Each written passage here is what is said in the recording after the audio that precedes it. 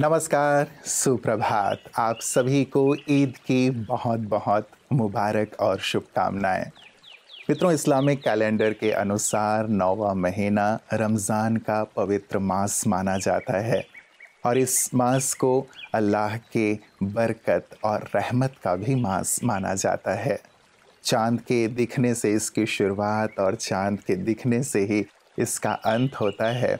और आज का दिन बहुत बहुत शुभ दिन, जबकि सभी आपस में प्यार से गले मिलते हैं। प्यार से एक दूसरे को अपनी शुभकामनाएँ देते हैं। और रमज़ान का तो पूरा मास ही ऐसा पाक मास जिसमें सभी अल्लाह की इबादत करते हैं, नमाज़ पढ़ते हैं, बुराइयों से दूर रहते हैं। तो सचमुच हम सबको प्रेरित करने वाला, बुराई से अच्छाई की ओर ले चलने वाला ये सुंदर सा पर्व। तो आप सभी को ईद की पुनः शुभकामनाएँ देते हुए आइए चलते हैं अपने सुभाग्य की ओर। ओम शांति। जितना आप दूसरों के सहयोगी बनेंगे, आप शिकायतों से दूर रहेंगे। जीवन के अंदर शिकवा, शिकायत, कंप्लेन करना, क्रिटिसाइज करना, आलोचना करना, ये मनुष्य के जीवन में एक बहुत सहज सी भावना हो गई है। और परिस्थितियाँ कभी कभी ऐसी आती हैं सामने कि मनुष्य जो है अपने जीवन के अंदर बहुत ही जल्दी से शिकायत कर देता है। और शिकायत करना और उसे शब्दों में लाना, दूसरे व्यक्ति तक दे देना अपने शब्दों में, ये ना केवल हमें ही असंतुष्ट करता है, लेकिन वो व्यक्ति भी हमारी शिकायत की बात को सुनकर असंतुष्ट हो जाता है। तो वो एक अलग दृष्टिकोण होता है। तो हमें भी अपने जीवन के अंदर शिकायत के स्थान पर अगर हम ग्रेटिट्यूड की भावना, धन्यवाद देने की भावना। यानी ईश्वर ने हमें भी तो अपने जीवन में बहुत कुछ दिया है। और उसके लिए अगर ग्रेटिट्यूड रहता है, धन्यवाद करने की भावना या दूसरों को, दूसरे की विशेषताओं को देखने की भावना जब रहती है तो तब हम शिकायत नहीं करते हैं। लेकिन हमारे मन के अंदर ये रहता है कि नहीं उस व्यक्ति के पास में भी और, और भी बहुत अच्छी बातें हैं और उसने मुझे बहुत सहयोग भी दिया है। इसीलिए अगर हम अपने जीवन के अंदर खुश रहना चाहते हैं संतुष्ट रहना चाहते हैं तो गिला शिकवा और शिकायत को छोड़कर हम दूसरों की तारीफ़ करें उनका धन्यवाद दें और उनके भी मनोबल को बढ़ाते रहें जिससे कि हम अपने जीवन के अंदर न केवल हम शक्तिवान बनेंगे, लेकिन साथ ही साथ हमारे जीवन के अंदर शुद्ध संकल्प और भी अधिक से अधिक हमारे जीवन को आगे लेकर जाते रहेंगे। मित्रों, आज मई का पहला मंगलवार है और आपको याद होगा और याद ना हो तो मैं याद दिलाया देता हूँ। कि मई के पहले मंगलवार को वर्ल्ड अस्थमा डे के रूप में मनाया जाता है।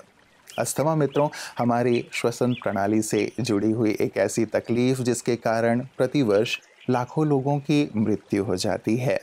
यदि हम थोड़ा सा इस बात पर ध्यान रखें कि हम किस प्रकार अपनी जीवन प्रणाली को रखें और यदि इस प्रकार की तकलीफ़ हमें है तो क्या क्या हम ध्यान रखें तो अपने जीवन की और औरों के जीवन की रक्षा कर सकते हैं। तो आइए आज आपकी सेहत, आपके हाथ में अस्थमा की ही बात। ओम शांति। Good morning friends. World asthma day.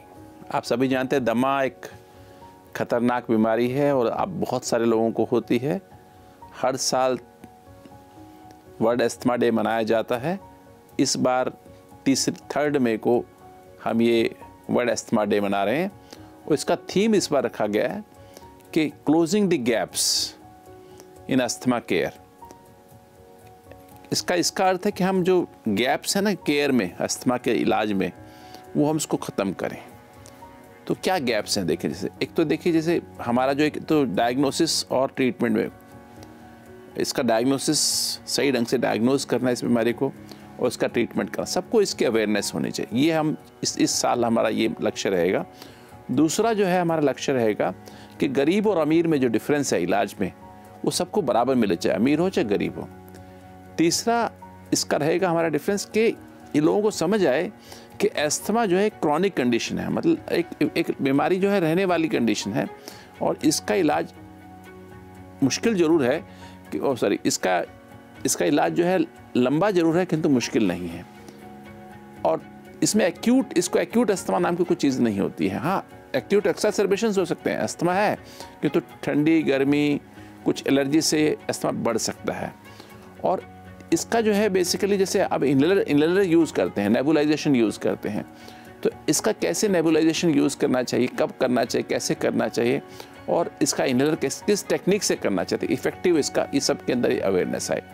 कि कैसे हम राज्यों का थ्री डायमेंशनल हेल्थ केयर राज्यों का meditative life style for healthy heart happy mind healthy body इसमें हमने काफ़ी अस्थमा के मरीज़, जो क्रॉनिक मरीज़ थे तीस तीस साल से अस्थमा स्टीरॉयड डिपेंडेंट थे, उनको भी हमने देखा, उनका भी अस्थमा कंट्रोल में आ गया। मतलब दवाइयाँ ही छूट गई, अब इनको दवाई की आवश्यकता नहीं है। तो ये जो है आप मेडिटेशन जो राजों का मेडिटेशन है, जिसमें आप आउटर सेल्फ से inner self conscious soul soul conscious हो जाते हैं और क्योंकि लंग्स का कनेक्शन शांति से है तो जितनी अधिक गहरी शांति peace peace means being in the present तो आप इस बीमारी से बच सकते हैं। तो आप लेटेस्ट ट्रीटमेंट करिए, आज ये मन में अवेयरनेस क्रिएट करिए, समाज में आज के दिन हम क्रिएट करेंगे आस पड़ोस में करेंगे, समाज में करेंगे प्रोग्राम्स भी कर सकते हैं और लोगों में अवेयरनेस क्रिएट करें कि मेडिटेशन राजयोग का मेडिटेशन एक अच्छा तरीका है। साथ साथ जो दवाइयाँ हैं लेटेस्ट दवाइयाँ, इसका इलाज कराइए, इसको प्रॉपर ढंग से डायग्नोज हो और ये बीमारी से आप निजात पा सकते हैं। एक सुखी जीवन सुखी जीवन, स्वस्थ और सुखी जीवन आप बिता सकते हैं।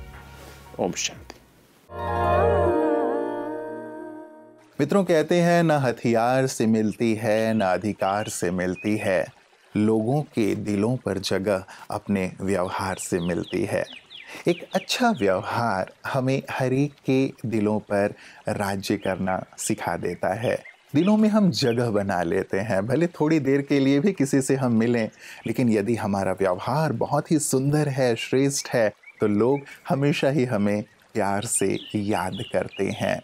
और ऐसे ही हैं हमारी कुछ विशिष्ट जन, जिन्हें हम प्रतिदिन सुनते हैं। जो हमारे दिलों पर राज्य करते हैं। आज हमारे साथ हैं श्री नरेश पटेल जी, जो कि फ़िल्म और टीवी के कई सीरियल्स के डायरेक्टर हैं। ब्रह्मा कुमारी के साथ जुड़कर इन्होंने भी बहुत सुंदर सुंदर अनुभव प्राप्त किए हैं, जिन्हें हम आज उनके अनुभव में सुनेंगे।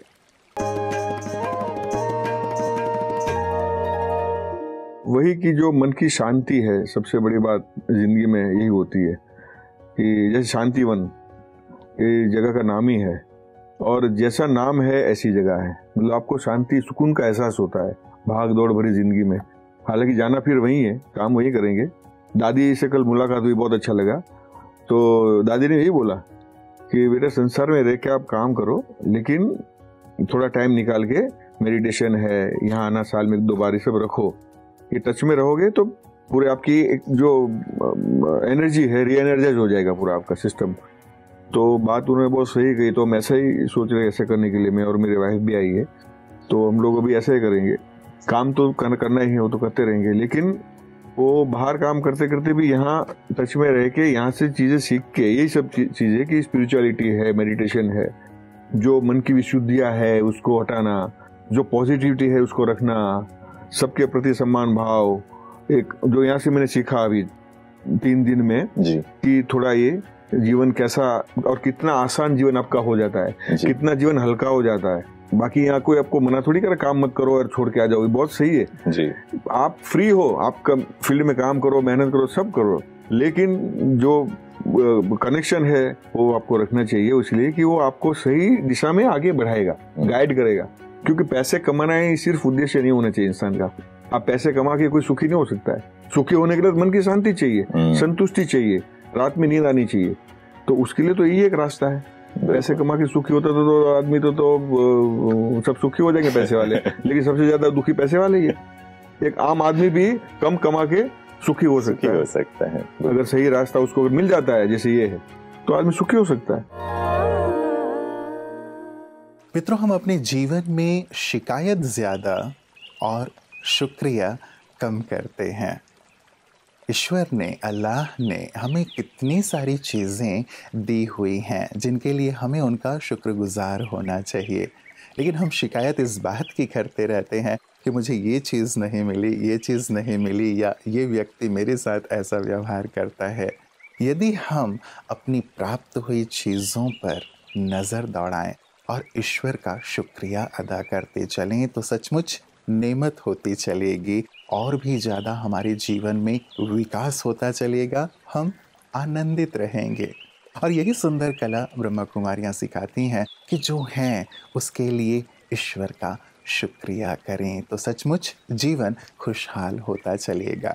आइए देखते हैं, वो कहाँ इस सुंदर सेवा कार्य को करके ये सुंदर सीख लोगों को प्रदान कर रहे हैं।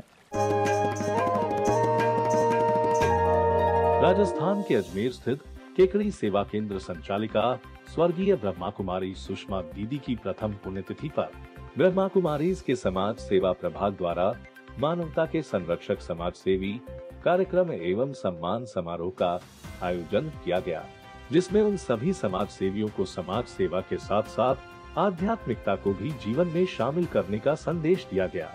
श्रेष्ठ कर्म के साथ साथ श्रेष्ठ भावनाओं का भी बहुत महत्व है। इस पर भी प्रकाश डाला गया। दीप प्रज्वलन कर सामाजिक सद्भावना का संदेश दिया गया। अजमेर संभाग संचालिका आदरणीय राजयोगिनी बी के शांता दीदी जी ने बताया कि सभी को सुख देना ही सच्ची समाज सेवा है। इसलिए निस्वार्थ भाव से हम लोगों की सेवा करें, जिससे हमारा जीवन स्वतः ही सुख और शांति से भरपूर रहेगा। बी के वीरेंद्र भाई जी, जो कि ब्रह्मा कुमारी समाज सेवा प्रभाग के सक्रिय कार्यकर्ता है उन्होंने कहा कि समाज में सेवा करने की सही विधि तभी संभव होगी जब हम उसमें आध्यात्मिकता का परिवेश बनाएँ एवं नैतिक मूल्यों की शिक्षा भी दें। सभा में उपस्थित समाज सेवियों को समाज सेवा प्रभाग एवं केकरी सेवा केंद्र के द्वारा मोमेंटो, सर्टिफिकेट, फ़ाइल व ऊपर ऊपरनाम पहनाकर सम्मानित किया गया एवं सभी को ईश्वरीय प्रसाद देकर शुभकामनाएँ दी मित्रों, आज उत्सव का दिन। ईद का अर्थ ही होता है उत्सव। तो क्यों ना केवल आज ही नहीं, लेकिन अपने हर दिन को ही हम उत्सव बना लें। जैसे आज हम एक दूसरे के गले मिल रहे हैं, एक दूसरे को दुआएँ और शुभकामनाएँ दे रहे हैं। क्यों ना यही क्रम प्रतिदिन चलता रहे और रोज़ ही हमारे लिए ईद हो तो जीवन कितना सुंदर हो जाएगा। और व्रत जो हमने रखा कुछ व्रत बुराइयों से दूर रहने का भी ज़रूर हम रख लें। क्योंकि यदि हम बुराइयों से दूर रहेंगे, तभी तो जीवन उत्सव बन पाएगा।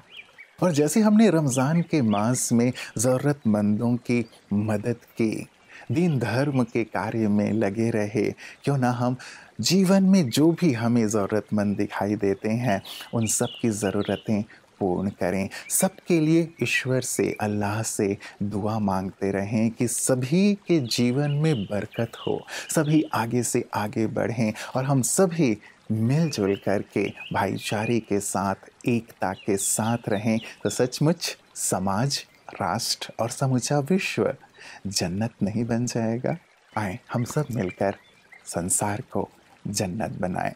एक बार पुनः आप सभी को ईद की ढेर सारी शुभकामनाएँ। नमस्कार, ओम शांति।